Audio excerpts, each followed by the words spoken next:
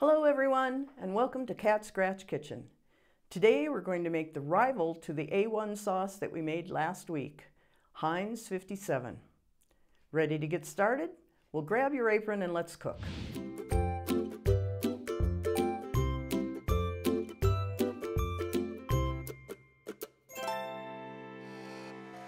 Okay, to begin with, we have to make a raisin puree. And to do that, we're going to take a third of a cup of raisins and a third of a cup of water in your food processor.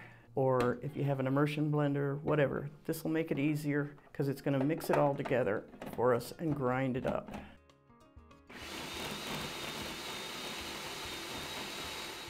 Now I'm just going to scrape it down a little bit.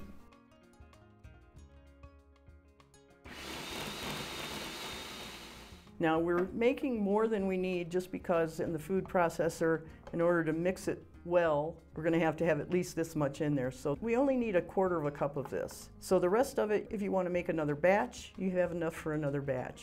You can store it in the fridge and it's fine for another batch.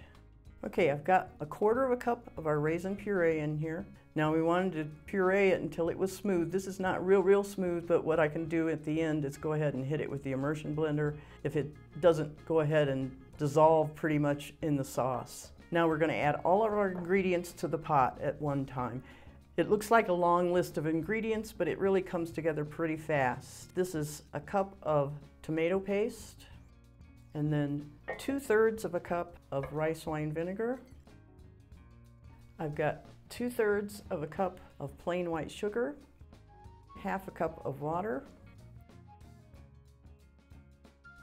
a tablespoon of mustard, just regular yellow mustard, two teaspoons of apple juice concentrate, one and a half teaspoons of salt, a teaspoon of oil, I'm just using canola oil. You want something that's fairly bland.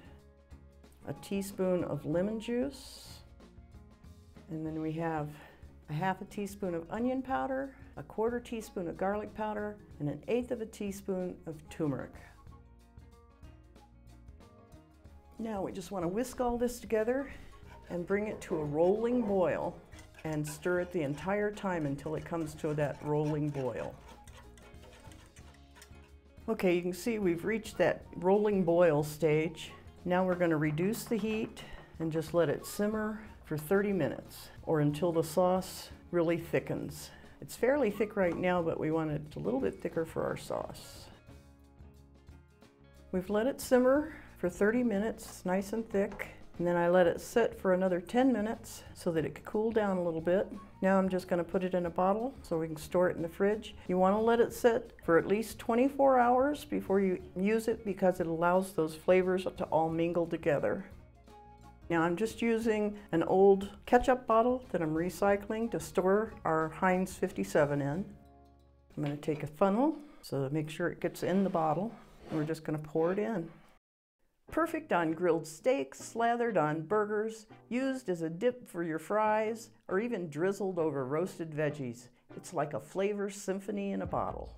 And there you have it. We've journeyed through the saucy universe, exploring the secrets of Heinz 57 and the regal allure of A1 steak sauce. Remember, life's too short for bland food, so go ahead, dip, slather, and savor. And hey, why not try both?